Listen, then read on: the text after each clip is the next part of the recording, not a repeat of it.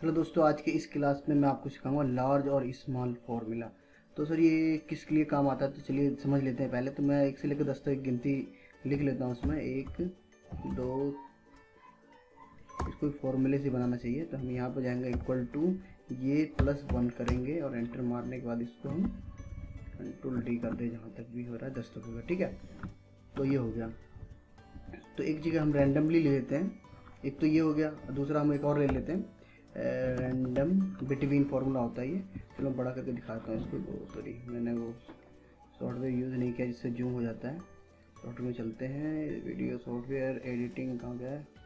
Video editing में जाएँगे और जूम ऐप इट ले लिया ताकि मैं आपको जूम करके दिखा सकूँ। तो देखते हैं, अब एक और फॉर्मूला लगाते हैं। रैंडम बिटवीन, इसमें टॉप, बॉटम देते हैं दस और टॉप में देते हैं पचास।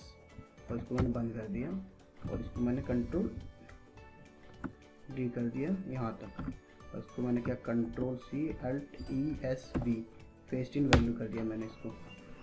तो कंट्रोल एफ़ वन दबा करके मैं ऊपर के जो आइकन है, ये मैंने हाइड कर दिए।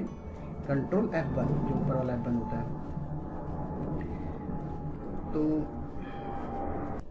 तो हमें पहले पता लगाना कि सब L large formula large large formula और स्मॉल एक्सेल में कोई फॉर्मूला छोटा नहीं होता, मैं पहले बता देता हूँ। हो सकता है आपको अभी ये कहोगे, यार, ये छोटा सा चीज़ है, लेकिन जब आप एडवांस लेवल में करोगे तो यही फॉर्मूले बहुत कम आते हैं। फॉर्मूले के अंदर फॉर्मूला फॉर्मूले के अंदर फॉर्मूला और फॉर्मूले के अंदर फॉर्मूला बहुत बार लगाना पड़ता है।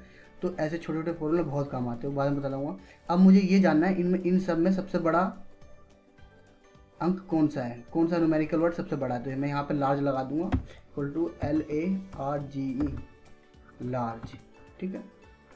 अब मैं इस पर पूरा का पूरा रो सिलेक्ट कर लूँगा और लार्ज में और कॉमल आके ये के का ऑप्शन आ रहा है। पहले एरे पूछा एरे मैंने दे दिया इसको कि एरे यहाँ से यहाँ तक ले ले, उसके बाद ये पूछ रहा है के कौन सा नंबर मैं कह रहा हूँ पहला नंबर पहला सबसे बड़ा वर्ड तो देखिए यहाँ पर बता रहा है, पहला जो सबसे बड़ा है, वो ये है। मैंने फॉर्मूला लगाया, पहला सबसे बड़ा जो अंक है यहाँ पर, वो दस है, उसने ला दिया। इस तरह अगर मैं चाहूँ कि पहले, दूसरा सेकंड लास्ट वर्ड बड़ा कौन सा है सेकंड वाला, मैं दो लिखूँगा तो ये नौ को ला देगा उठा के, कि जो दूसरा बड़ा है, पहले दस को छोड़ने के बाद वो नवा बड़ा है। इसी तरह मैं अगर यहाँ पर तीन लिख देता हूँ तो ये बता देगा कि ये आठ बड़ा है। चलो इसमें, अब मैं इसमें भी इसी फॉर्मूले को एक बार लगा के दिखाता हूँ। पहले लार्ज टैब दबाना है टैब दबाने के बाद इस एरे को सिलेक्ट करना है कंट्रोल शिफ्ट दबा के डाउन एरो का बटन दबाना है, और कॉमल के फ़र्स्ट वर्ड इसमें पता लग जाएगा फोर्टी नाइन सबसे बड़ा। आप देख सकते हैं फोर्टी नाइन कहाँ पर है? हाँ ये सबसे बड़ा है। यहाँ पर देख रहे हैं फोर्टी नाइन सबसे बड़ा है। तो ये जो फोर्टी नाइन है, ये सबसे बड़ा है यहाँ पे। आप देख सकते हैं, ये यहाँ पे यहाँ लगा है फोर्टी नाइन तो ये फोर्टी नाइन इसी तरह मैं अगर इसका सेकंड वर्ड पता लगाना, दूसरा वाला कौन सा है तो बहुत आसान है। यहाँ पे मैं जाऊँगा इसी फॉर्मूले में। दोबारा लगाता हूँ एक मिनट के लिए। एल ए लार्ज टैब और मैंने इस एरे को सिलेक्ट किया।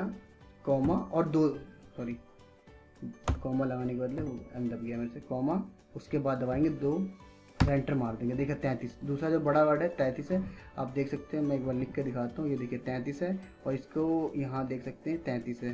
पहले फोर्टी नाइन आया था, लेकिन अब तैंतीस आया है। तो ये दूसरा बड़ा वर्ड है। इसी तरह हम यहाँ फॉर्मूले के अंदर, जैसे ये जो आपको दिख रहा है, ये वाला जो दो दिख रहा है, ये आपको यहाँ पर, ये दो दिख रहा है इस दो को अगर मैं तीन करूँ तो तीसरा बड़ा वर्ड आ जाएगा। चलो मैं दिखा देता हूँ तीसरा बड़ा वर्ड अब मैं यहाँ पे तीन कर देता हूँ डिलीट मार के सिर्फ़, सिंपल। तो ये तीन आ गया, सिंपल। इस तरह स्मॉल के लिए होता है तो इक्वल टू स्मॉल स्मॉल में गया एरे सिलेक्ट किया और सबसे छोटा वर्ड कौन सा ये पता लगाने के लिए होता है ये। तो मैं एक दबाऊँगा तो ये आ गया सबसे छोटा, एक है। सेकंड सबसे छोटा कौन सा है?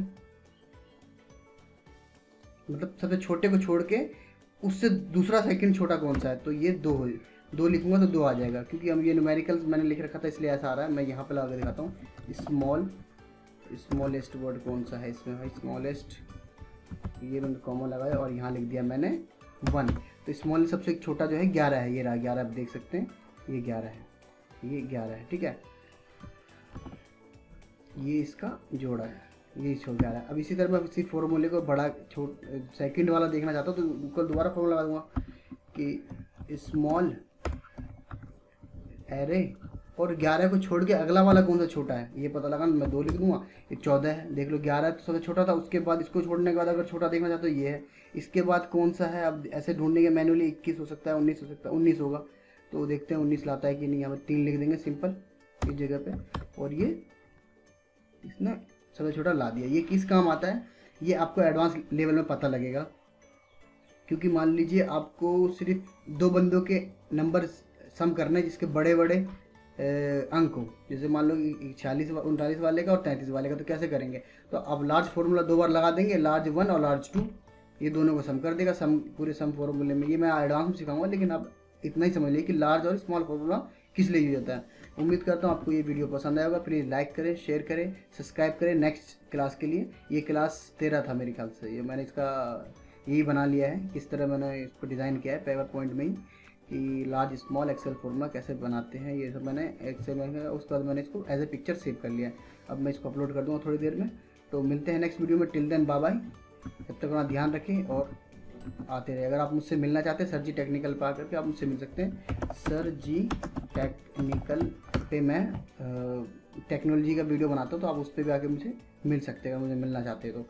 टिल देन बाय शब्बा खैर।